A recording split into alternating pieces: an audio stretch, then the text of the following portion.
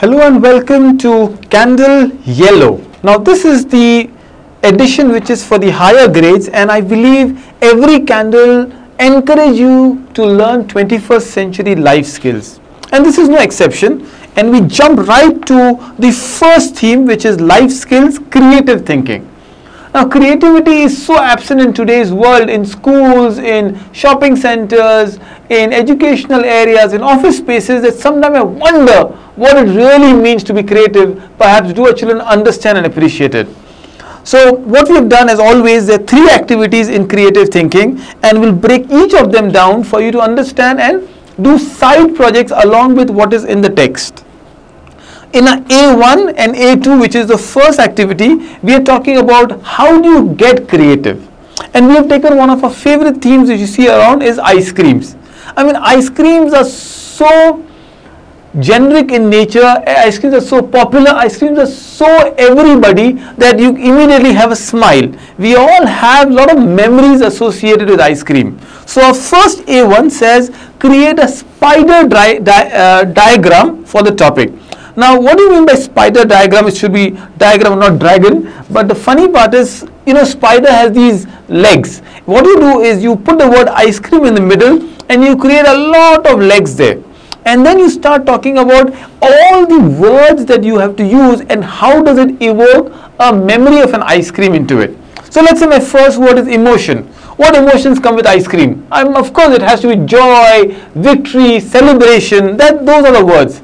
Memories, Perhaps it could be a birthday, could be a party, could be a wedding, could be picnic, could be something that is after dinner. Flavors. Of course, there are hundreds of flavors. I love the whole idea. Why don't you do a side activity on ice cream? Now, as I always do, a lot of things has to be done. You are doing a classroom project, not just a text reading. So, side activities, Baskin Robbins have the whole tagline called 31. You know why they call themselves 31? Because they have these 31 flavors that they are very, very popular with. What about finding all the 31 flavors?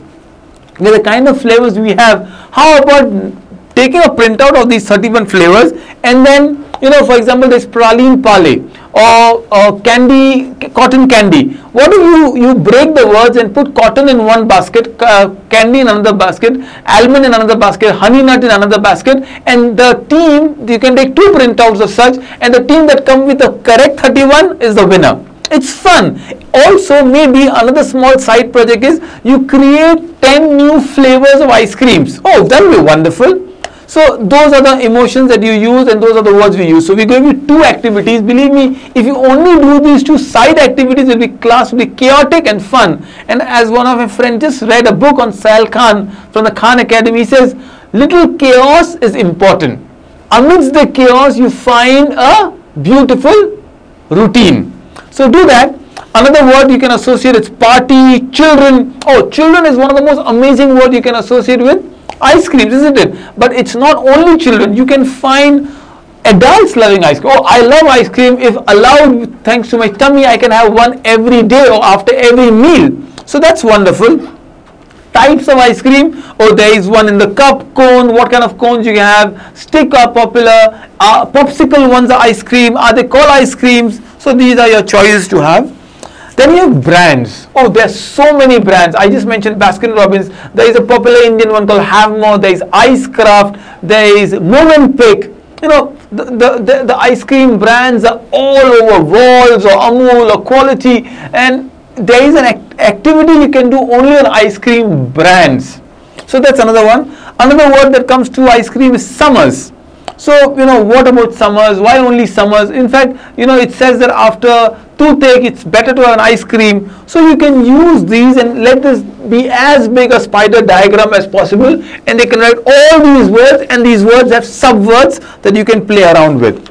I'm sure your creative juices are now flowing and probably what better than top it, top it up with an ice cream party, actual one in your class. It's the first activity of the, of the book and you are absolutely surprising them with this amazing ice cream. A2, we have already done a lot of A2. Connect the circles with the words that come to your mind for ice cream. It's the same thing, but we're just doing in a mind mapping way. The earlier one, A1, was the spider diagram. In A2, I'm saying any words that come to you ice cream. So it could be melt, it could be waffle, it could be again picnic, it could be children. Anything that comes, they can fill in the words. There are around 10, 10 or 12 uh, circles here. You can choose to write it here itself and you can choose to stick something else on them. That brings an end to the first one. I hope an enjoyable one on ice cream. The second one is called Brain Quest. Now, we go to a very technical point, but it's a lovely point where our brain is divided into two hemispheres. Same way our heart is divided into four chambers, two primary chambers, and then the auricle and the ventricle. The hemispheres are the right and the left brains. The right brain is responsible for all creative function. So anything that is creative, and we'll describe that in a moment. The left brain is responsible for all logical function. So what we have done in A4 which is a primary activity of this exercise is we have said that choose the words which fit in the right and the word which fit in the left. I think the children can take the markers, the pencils, the pen and start drawing lines. So say reasoning. Reasoning, is it an analytical activity or a creative activity? Well, when you reason, you're doing both, right and the left brain. So probably you'll put reasoning in the middle here. Music is a very creative activity, isn't it? So music will go to the right part, which you see the colorful part of the brain. So you can put there in the colorful. Colors, very clearly it's the colorful part. Keep doing it. Remember, there are no right and wrong answers. So don't get too worried if you suddenly are unable to think logic where does logic come of course logic is an analytical activity a left brain activity but if you have to put somewhere the moment you do right and wrong you are thinking with your left brain so be a right brainer. Daniel Pink and I would like you to do a small thing. Write this quote on the big whiteboard that you have got. He writes that the illiterates of the 21st century are not those who cannot read and write. The, they are the ones who cannot learn, unlearn and relearn. So what he is basically saying is the 21st century belongs to storytellers and creative people. And the jobs that we'll describe will be among that. So this is A3 and A4 activity in terms of brain quest. Now, if I were to give you a side activity along with it, that is where I want to teach you about mindset. Mindset is a research by a lady called Carol Dweck and she said that people have two kind of mindset. One who says your intelligence is fixed and one who says intelligence can grow. So the one who says it's fixed is called fixed mindset and the one who says grow is called growth mindset. Put a small chart, teach these two words to them. Your kids will be thankful to you because of something great you're teaching.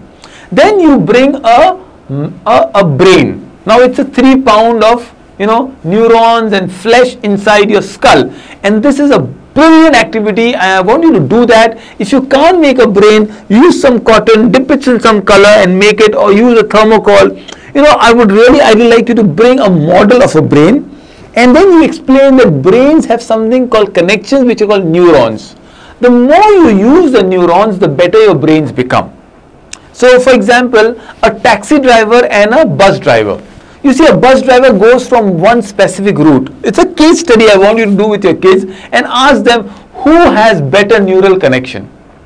The bus driver, although he's more responsible, is more people, but his routes are fixed. So he only sees one kind of a, a street.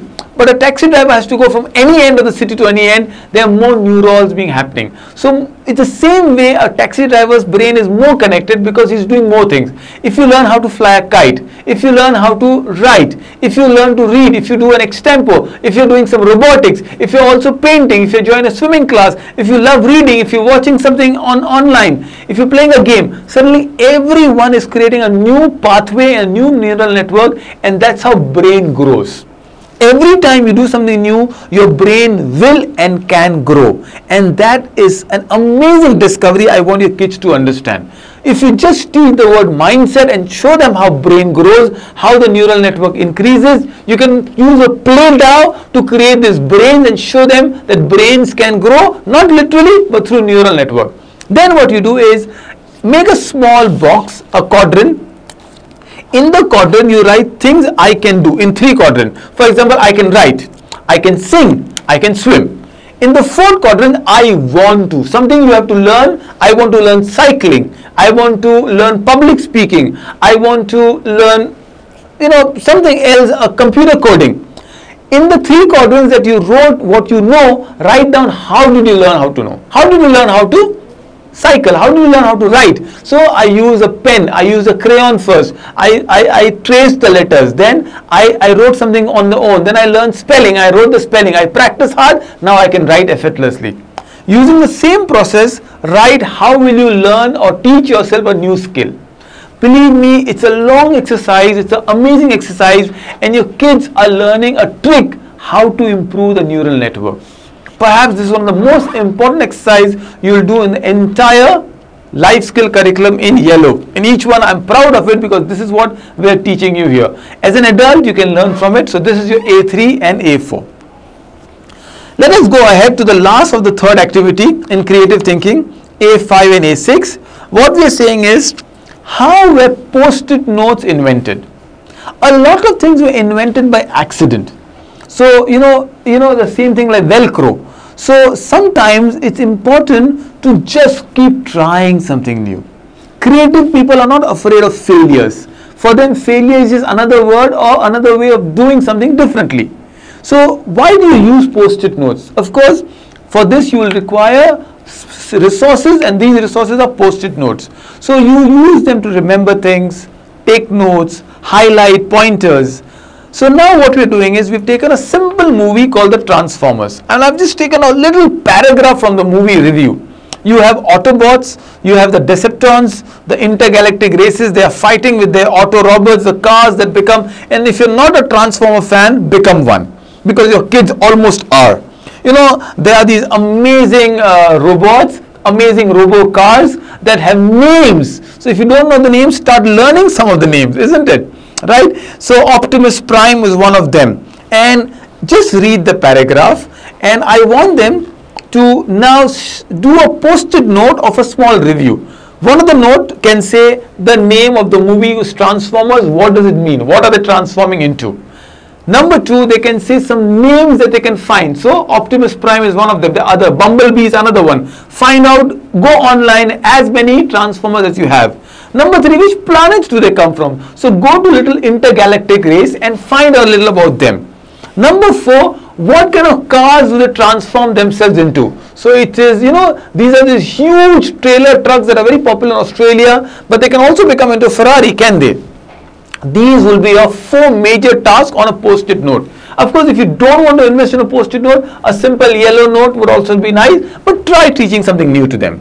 Now, these are only four I gave you. There can be 10 more extra activities that you can prepare from it. Number one, like the Transformers from Intergalactic, where are the other people from Intergalactic? You can talk about E.T., old Star Wars, Stranger Things, very popular now on Netflix, or you can also talk about Avengers, which every kid will know. Number four, you can do number two in the side activities, the cars that they've become. What other cars would you like them to become into? Perhaps you want them to become into a Fiat or a Toyota or a Lexus or something on a Harley Davidson bike. Let them write brainstorm. Tell them to make a new Transformers, design one, draw one, and then see if they can convert into a car. I'm sure some of the kids have a toy where transformer is becoming a car. Before this activity, ask them to bring it to class and you can show different mechanical parts. Believe me, children who love BMWs and cars can actually learn so much about cars just by seeing the transformers. One last thing you can do with Transformers is of course download a movie, play it on one of the streaming videos on YouTube and play a video and discuss it. It's an amazing series. It's something we will love to talk about it. The last thing is how creative people are. They can think, think of Transformers like movie and they can make it a popular thing and people start believing. Fiction, fantasy, this genre is really taking forward. What about you? What do you like about Transformers? Have you watched Transformers? Have you asked about the history of Transformers? And yet it's about a hero helping save the world. So, you know, uh, so many tangents can be talking about. It's just creativity. We've touched upon three different themes with creativity. We spoke about the first one on simple, necessary ice cream as a food. Then we went to mindset and brain. And the third one, we went about accidental discoveries. And the last thing on accidental discoveries, find out at least five new things that were discovered accidentally. Penicillin is of course one of them. I mentioned Velcro. There may be few more things that I have not talked about. Radioactive or radium is another one. And it will be amazing science discovery creative juices flowing in this activity. Hope you enjoy and give us your feedback. Thank you so much from here, Sky Education team. Hello and welcome to Candle Yellow. In a second theme called the Newsmakers, we are taken up a new thing called adventure.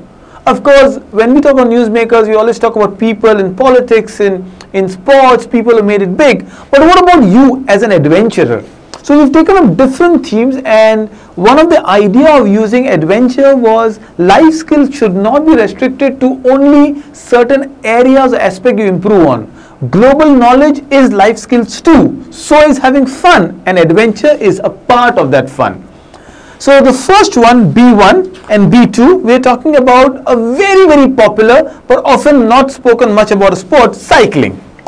So we will talk about cycling in general after this exercise and then we'll spend uh, more time on the side activities to it. And of course by now you've guessed what I expect you to bring to the class. Every child can cycle or perhaps you can bring at least one so they can have fun cycling around. Tour de City, Tour de France is the name of a popular, you know, it's like it's like the Wimbledon of French or the FIFA World Cup of cycling. So you don't have to be from France though or name Lance to cycle you can cycle all around. What I'm implying is Tour de France is a French popular game there. It's in France and Lance Armstrong is the most popular cyclist or as he calls bikeist to, you know, he's like the Michael Schumacher of cycling. What we are asking you is look at the map of this current area and take a cycle and make a route. So you can, you know, challenge, go from A111 to A1010. What will you do? Where will you go through? You might go through a park, you might go through a hill, you might have some kind of stoppage, you might have, you know, areas to cross. It's a great exercise to do on cycling and, you know, just you can make children make a own city map and then they can do cycle. One of my strongest recommendation is to watch a video called the Bikes Path. Bikes Path is a ABL, an activity based project where children actually made a bike path for their own city. And this is something you can encourage them to do. If not, at least they can go and find out are a small exercise, are our streets safe to cycle? Cycling is one of the biggest and purest joy that you can have. What is this that you can do on cycling itself? You can also as a teacher listen to my own talk called the bicycle education available on Sky Education TV and I believe you can get great lessons only on the joy of cycling. So when they have made a whole map, they're actually drawing a map of a city, then they're making cycle paths, then they're seeing areas. You can teach them about what I call blind spots, areas where cycles should not be driven, you know, or highways or bridges where you might exert yourself. So find smaller paths It'll be a great fun exercise. And of course, as I said, if you can bring a cycle to class, nothing like it where you can do small cycling exercises along with these entertaining areas where they can do cycling and then show when and the best way to cycle. One of the best exercises along with swimming is of course cycling and horse riding and of course both these things require resources. Cycling is the easier of the three. The another recommendation I would like to do is play a board game called Scotland Yard invest in Scotland Yard, which is something similar because it has a map of an entire London, the city with Hyde Park and Thames River, and it's a fun detective thing they can play. It's an adventure on a board game. Today our kids are very addicted to mobile phones and if you teach them a, the joy of board games, believe me, they'll become great analytical and creative learners. On B2, we have a picture of the magazine called Tour de France and all I want is they can see to it and they can find and observe few things. What's the logo of Tour de France? You can see it's written Le Tour de France. What it must be written in French. What do you think it means? What does the yellow signify? It's actually the winners of it get the yellow jersey. Similar way where you get green jackets in golf. So the yellow vest is the significance of the winners in Tour de France, the cycling race. Let the kids go out and find a little bit about this race what are the team profiles? What are the how is it played? You know do they climb up? What do cycles look like? The gears in the cycle. You know why what do they do to get rehydrated? What are the dangers into it? What is the who is the current leading champion? Which country is he from? What's the state of cycling in your city in your area? Are there cycle clubs around? There's so much you can play only on this It'd be great exercise for the children to become a little adventurous and I hope after this they can pick up a cycling theme and they can cycle around in their own areas. So this was my first of the adventure newsmaker. My second newsmaker is B3 and B4 which is about another area going to an extremes of the of the globe, the poles. Well, the earth is geospherical, right, like an ostrich egg, and there are two poles to earth, the north and the south pole. So you can start talking about the adventure to these poles. There are enough YouTube documentaries that you can show them what poles look like. And one of the most amazing adventure is about North Pole, Robert Peary. Robert Peary is an American Navy engineer who reached the, the, the North Pole in 1909, which almost, if I'm talking about 2019, it's 110 years before.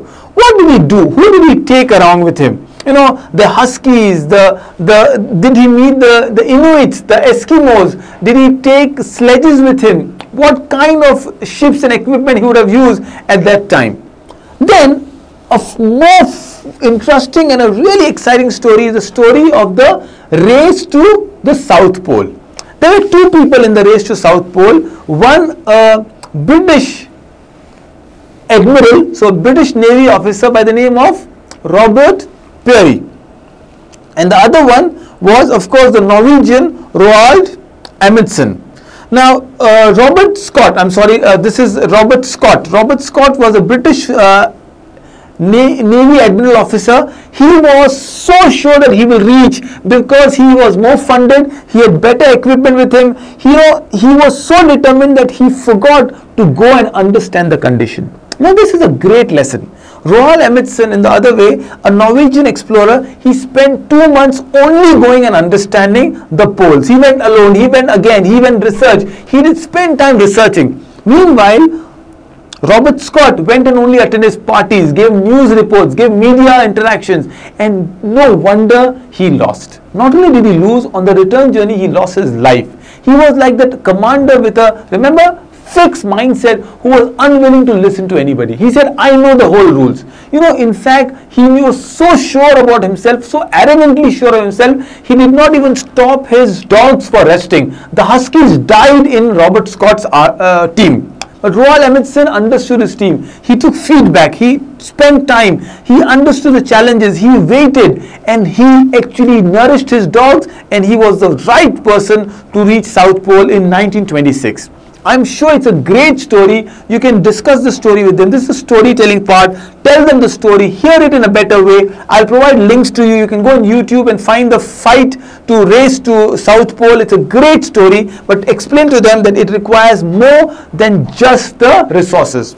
On a parallel story, because we're talking about the stories, similar story is about the race to flight. The first man to fly, of course, are the Wright brothers. The two brothers, Wilbur and Oliver Wright. But uh, there's another person, there's another team funded by the MIT, by the US Army, and yet the US Air, Force was funding them, and yet Langley's lost. Why? Because the same way, fixed mindset, he did not pay the passion, the why of it, as, as you know, Daniel Pink says, uh, the why of it was very missing in a very famous TED talk again by Simon Sinek that the Wright brothers had the why very clear. They wanted to fly for the joy of it. They were until the first people to tell people, tell mankind that we could be also close to birds. Tell them these stories in B3. B4 because we're talking about the globe, the adventure, why don't we develop an entire globe and mark it with imaginary lines? I'm surprised that our children do not know where Tropic of Cancer and Capricorn are. They don't know the equator. They don't know the latitudes and the longitudes. If they are to be finding about their own country, they will not know if it's above Capricorn or Cancer. So do that. You know, ask them simple question. Where is Australia? In the in the northern hemisphere or the southern hemisphere? Where is India? Where is Brazil? What makes some countries tropical and equatorial? And this would be great geography lesson. Without burdening them you can get a globe a real globe. You can get strings so they can tie these about. Just don't draw or sketch but do a physical activity so children enjoy love and they will not forget it for years to come. So this was the second of the exercises that we did on newsmaker. The third one is a lovely one, something I was always admiring about, and I always wondered why don't we teach enough about it, is on states of United States of America. Now you might wonder what is USA to do with a say a student studying in India or China or wherever this book is in Singapore. But believe me, USA is the most popular country today. And I'm not just talking about President Donald Trump or President Obama. They are great people and leaders that world know about. In whatever way you like or dislike them, they will always be there in the news. But the Hollywood, you know, who does not know about the American companies? Google, Microsoft, you know. So America is always there. Uber, so Facebook. So you are talking so much about United States somewhere. Perhaps you know less about your own nation than about this country. So how much do you know about the states of United States? So we took an imaginary friend of ours, Alexander, who's rallying across United States on his Harley Davidson bike. Remember, we also put a lot of concept into adventure. You can change the bike to a bicycle, you can change it to a rental car, whatever you look like. Now, first of all, why don't we go and find out the facts about USA? Well, how many states do USA have? So if you have to reach from Florida to Washington, where are these states? So you see Florida is the rightmost, the southernmost state of United States on the extreme uh, east coast and they have to go towards west to Washington. Washington perhaps is where the DC is, find it about. There's so many states. The beautiful thing about this particular uh, B5 map of United States is it's not a graphical thing. So Michigan has a car, you know, Arkansas have a bee. Texas is all about cowboys, so there's a ranch and a bull there. Um, New Mexico has hot air balloons. Arizona, because it's very, it's a desert, it's a cactus tree. California is all lovely areas with you know Vegas and stuff around. Where is New York in the extreme end? Something amazing about United States is the time zones. It's such a vast country that the time zones are different in United States. China has five time zones. Find out what about United States what if you can do a huge blow up this particular thing take a printout or you can see you can if you do a flex printout and print it? Uh, a lot of our students or Indian students especially in that context are going to US in the Ivy Leagues to study. Where are the Ivy Leagues? Where is Hollywood? You know find anything and everything you can find about United States. Where the headquarters of Google? Where is Silicon Valley? It will be amazing to just understand this country we have never understood before the, the, the chart it's clear, it's graphical, but I'll be so happy to find a little bigger one to it. For example, Alaska, where is it? It's, it's, uh, it should be Alaska should be above, it's in Canada is, right? So find out where Alaska is. What about the flag of United States, by the way? What is it called? It's called Star Spangled Banner. How many stars? What does it represent? You know, there was a civil war in America between the South and the North. And how did they fight? Who is Abraham Lincoln? What is his role? The presidents of United States. Why are they popular? You can find at least 10 presidents of United States. Remember, in one of the other uh, edition we spoke about Teddy Roosevelt, where teddy bear words come from. You know the George Bushes and Clintons. What about Ronald Reagan? What about JF Kennedy? One of the most popular presidents of America. So you can do an entire analysis of this amazing country, rich country, diverse country, a country of opportunities and dreams of you know of companies and markets and presidents and people and Hollywood and movies. So something you can do a lot about it. So B6 is just an addition to what we've been talking about.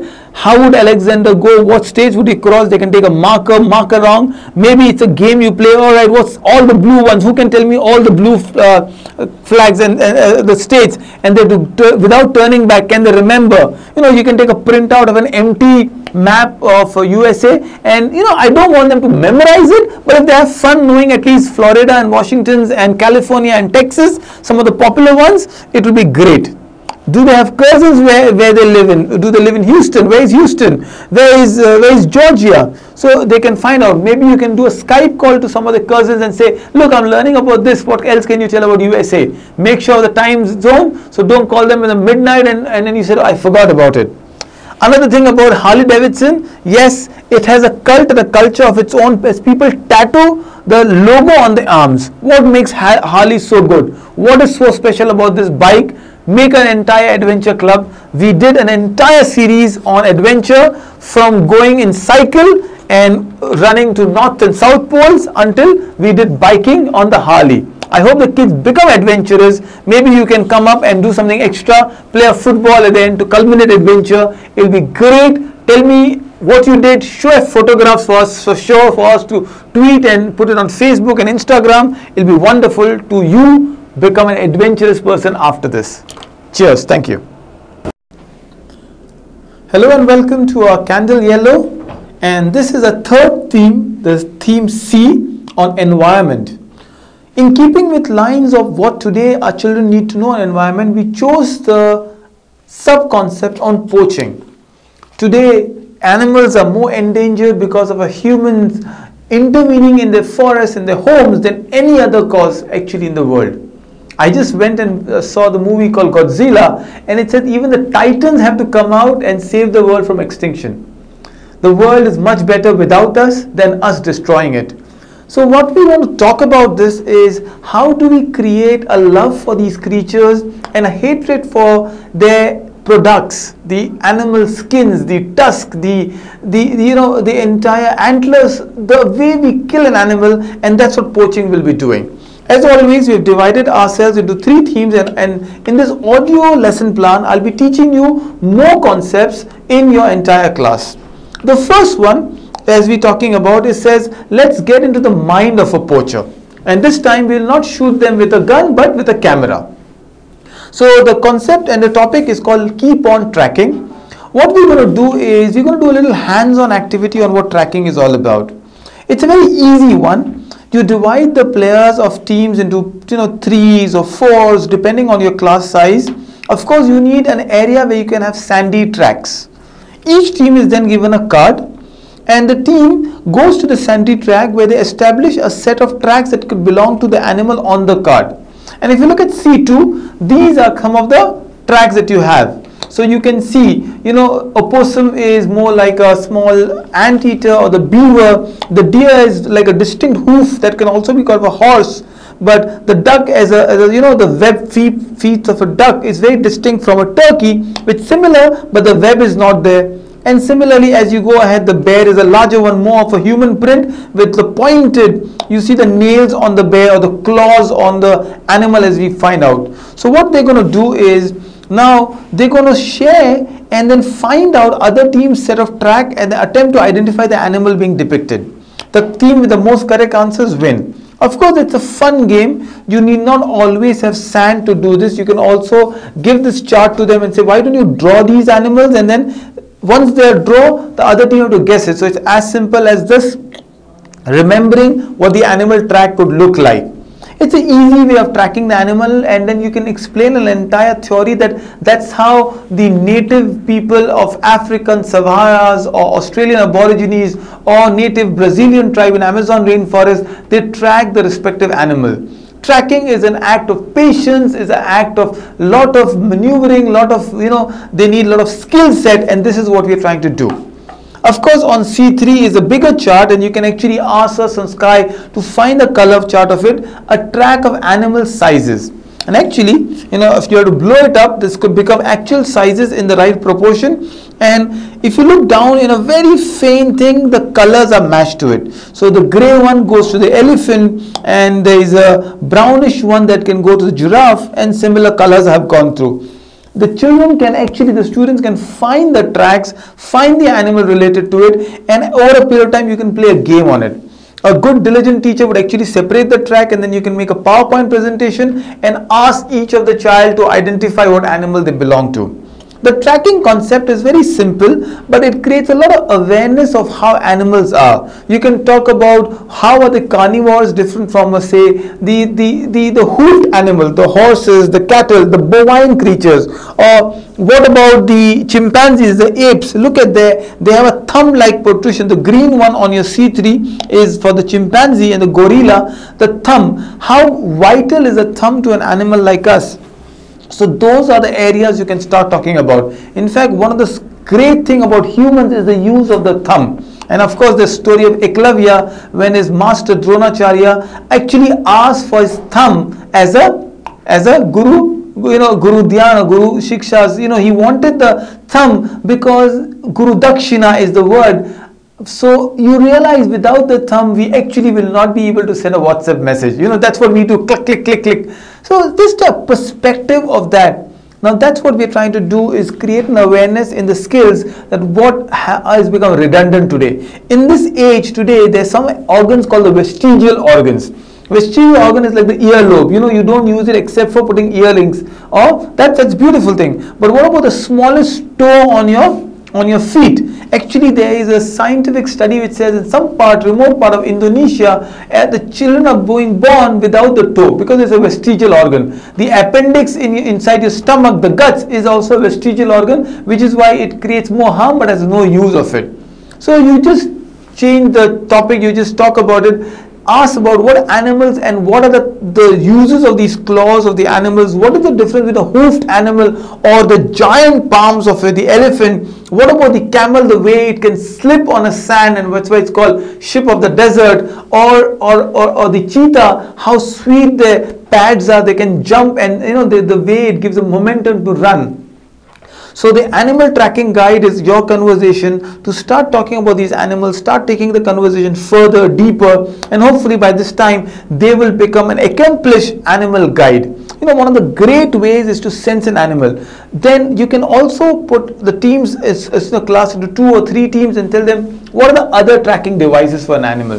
Of course, one of the most important tracking device besides the feet is the Yes, they're feces, so they're shit. So you can actually decode an animal. Is it fresh? Is it, you know, is it late? Is it, the animal was here recently? Another one is of course the litter. The animals when they lay the babies, you can find that that. The other one could be a great hunting ground. So you can track your jackals and bears and foxes and other animals from the way they are being tracked as, as in a hunt. Was the hunt fresh? Is the hunt over? Or another, another tracking device is go near to the water source. So the most beautiful thing in the savannah is the animals, all of them would be drinking water at the same time. A lion when the stomach is full is not greedy or selfish. So you will not find a lion jumping on a zebra. Of course, along with that, you can watch the movie as a movie watches the Jungle Book. Mowgli. It's a great movie, at least the first 10 15 minutes where the animals are together and then Sher Khan comes in and how the jungle ecosystem lives on this delicate, harmonious relationship. The animals survive and they want others to also survive. Now, after having done the first part of it, let's go to C4 and C5. C4 and C5 is even a more interesting game. What we're saying is play the dumb charades. The dumb charades is what we've always done, but we've never thought we can pick make it a game in a schools and a classes.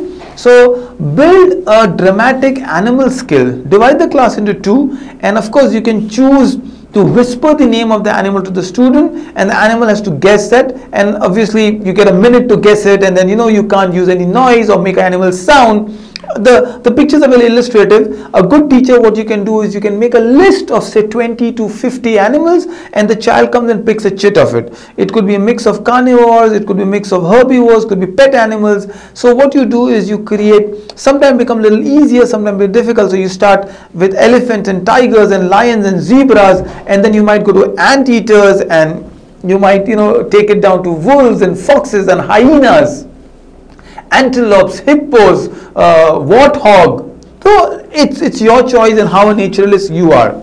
But now the more interesting part is in C5. Now since the Sharazla is, is fun, why don't you allow them to do a little more exotic animal? So here it's not just a vulture, it's called turkey vulture. It's not just a lion, it's a mountain lion, which is distinct and very, very different from a normal lion right? It's not a tortoise, it's a desert tortoise. Elephant, of course, it's an African elephant, a red kangaroo, a bald eagle, Canadian goose or a long-fingered bat. I love somebody to give that answer to me.